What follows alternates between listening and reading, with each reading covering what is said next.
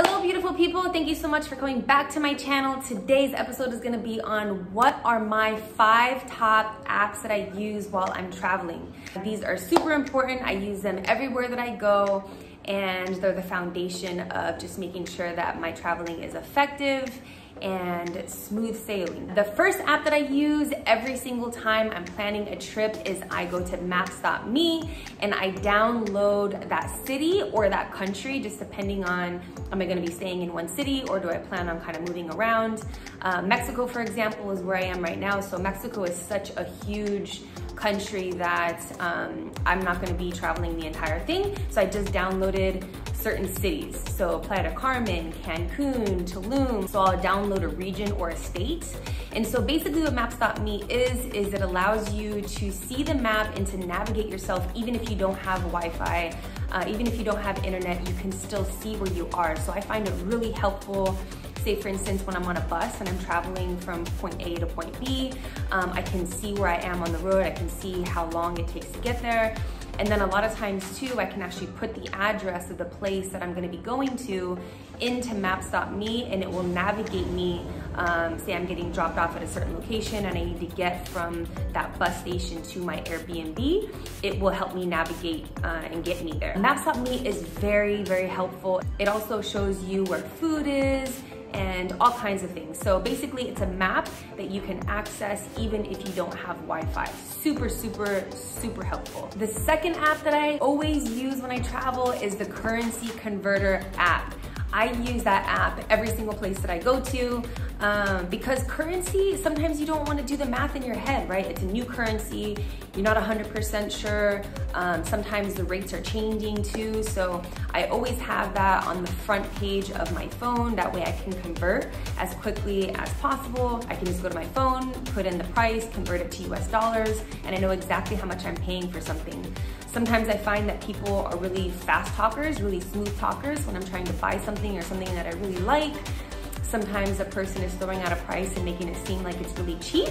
And then I put it into the currency converter and I'm like, oh, that's not as cheap as I thought that it was. And then I use it for food a lot. Like when I'm buying food, um, I feel like I buy that the most, right? I'm eating two to three times per day.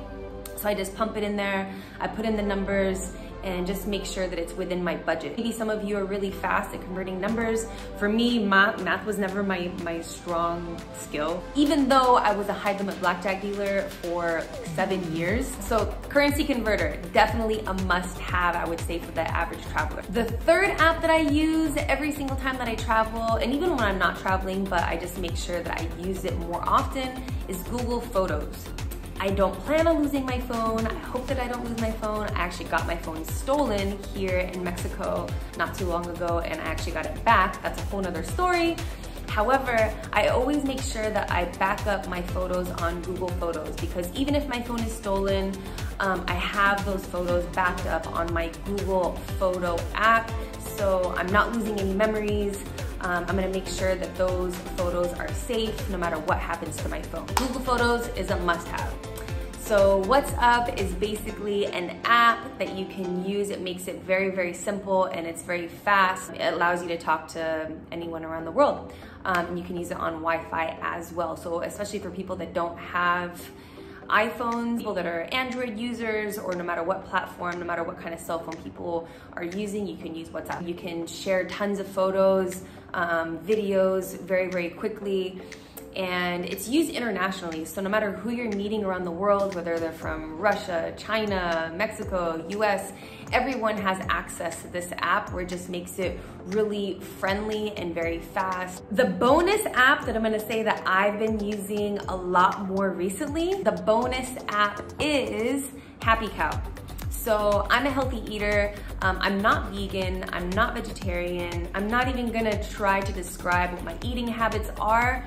But basically, I strive to eat healthy. That's like the foundational thing. I strive for a healthy diet. You can change the filter on the app. It'll tell you what's vegetarian, what's vegan, and so when I'm looking for a healthy place to eat, when I'm in a new city, I open up the Happy Cow app and it'll tell me all of the healthy spots, locations, cafes, restaurants that are in the area.